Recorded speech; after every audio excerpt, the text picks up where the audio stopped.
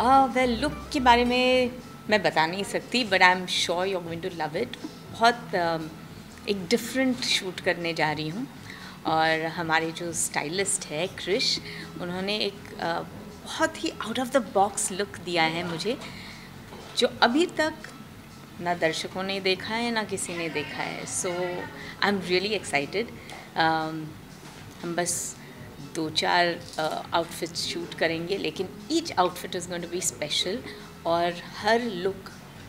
बिल्कुल अलग होने वाला है। So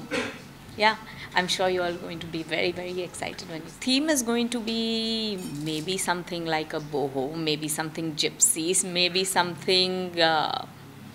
something very very eclectic जो आपने देखा नहीं और सोच नहीं सकते कि शायद भाग्यश्री इस पर सूट करेगी या नहीं करेगी but you gonna love it कुछ नया होने जा रहा है और कुछ बहुत ही जल्द आपके पास आपके पर्दों पर आने वाला है। सो इट्स फॉर दैट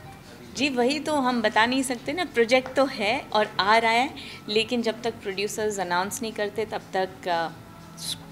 आपने एक रूप में देखा है भाग्यश्री को,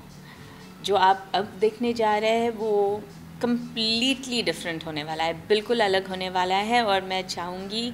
और ये आशा रखती हूँ कि जितना पहला रूप पसंद आया उतना ही ये रूप पसंद करेंगे। बस दो रियलिटी शोज़ तो हो चुके हैं अभी तो अब कुछ फ़िल्मों की बातें हो जाए। okay. लेकिन एक बात इस शूट की सबसे एक्साइटिंग और सबसे इंटरेस्टिंग थी जो कृष्ण ने मुझे बताई कृष्ण कम या कम या कम या कि so बहुत, बहुत सारे designers